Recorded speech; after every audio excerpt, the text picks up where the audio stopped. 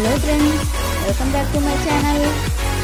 ఈరోజు మనం ఇన్స్టెంట్గా జిలేబీ ఎలా ప్రిపేర్ చేయాలో చూపిద్దాం అనుకుంటున్నానండి. చాలా టేస్టీగా ఉంటుంది. మనకి ఎప్పుడైనా స్వీట్ తినాలనిపిస్తే ఇలా జిలేబీ ట్రై చేయండి. చాలా టేస్టీగా ఉంటుంది. పిల్లలు కూడా చాలా ఇష్టంగా తింటారు. ఇప్పుడు దీన్ని ఎలా ప్రిపేర్ చేయాలో చూద్దాం. ఒక మిక్సింగ్ బౌల్ తీసుకొని అందులో వన్ కప్ మైదా వేసుకోవాలి. అందులోనే రుచికి సరిపడే సాల్ట్ వేసుకోవాలి. తర్వాత వన్ టేబుల్ స్పూన్ బొంబాయి రవ్వ కూడా వేసుకోవాలి. వీటిని మొత్తం ఒకసారి బాగా కలుపుకున్న తర్వాత కొంచెం కొంచెంగా వాటర్ పోసుకుంటూ వండలు లేకుండా బాగా కలుపుకోవాలి.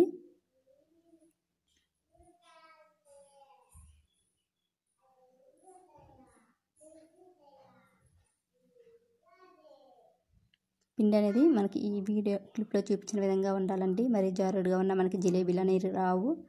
తర్వాత రెండు స్పూన్ల నిమ్మరసం వేసుకొని ఒకసారి బాగా కలుపుకోవాలి. అందులోనే కొంచెం బేకింగ్ సోడా వేసుకొని కలుపుకోవాలి. తర్వాత మూత పెట్టుకొని పక్కన పెట్టుకోవాలి. తర్వాత స్టవ్ పై కడాయి పెట్టుకొని అందులో వన్ కప్ మైదాకి రెండు కప్పుల బెల్లం తీసుకోవాలి.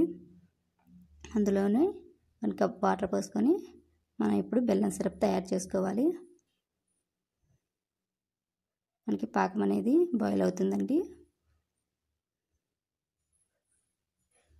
మనకి పాకం లైట్గా స్టిక్కీగా ఉంటే సరిపోతుంది. మరి ఎక్కువగా తీగ పాకం కూడా రాకూడదు.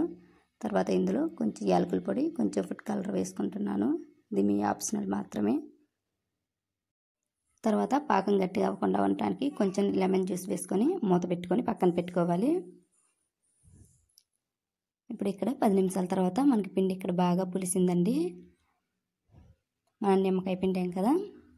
తర్వాత ఈ పిండిని ఒక ఆయిల్ ప్యాకెట్లోకి కానీ మిల్క్ ప్యాకెట్లోకి కానీ తీసుకోవాలి. తర్వాత పైన ఒక బ్యా బ్యాండ్ వేసుకొని చిన్న హోల్ పెట్టుకోవాలండి. తర్వాత స్టవ్ పై ఆయిల్ హీట్ చేసుకొని ఈ విధంగా జిలేబీలాగా వేసుకోవాలి. మీరు ఫస్ట్ టైం జిలేబీలు ట్రై చేస్తున్నట్లయితే ముందు ప్లేట్లో ట్రై చేసి తర్వాత ఆయిల్లో ట్రై చేయండి చాలా బాగా వస్తాయి. ఇది ఒక పక్క బాగా ఫ్రై అయిన తర్వాత రెండో పక్క టచ్ చేసుకొని బాగా కాల్చుకోవాలి. ఈ విధంగా ఫ్రై అయితే సరిపోతుంది. తర్వాత దీన్ని పాకంలో వేసుకొని ఒక రెండు నిమిషాల పాటు ఉంచినట్లయితే మనకి పాకం బాగా పడుతుంది. తర్వాత దీన్ని ప్లేట్లోకి తీసుకుందాం. మిగిలిన జిలేబీలు కూడా ఈ విధంగానే వేసుకుందాం.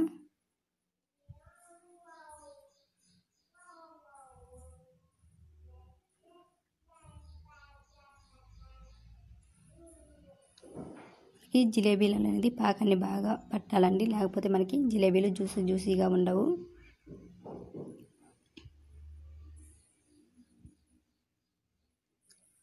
అంతే అండి. ఎంతో టేస్టీగా ఉండే జిలేబీలు చూశారు కదా.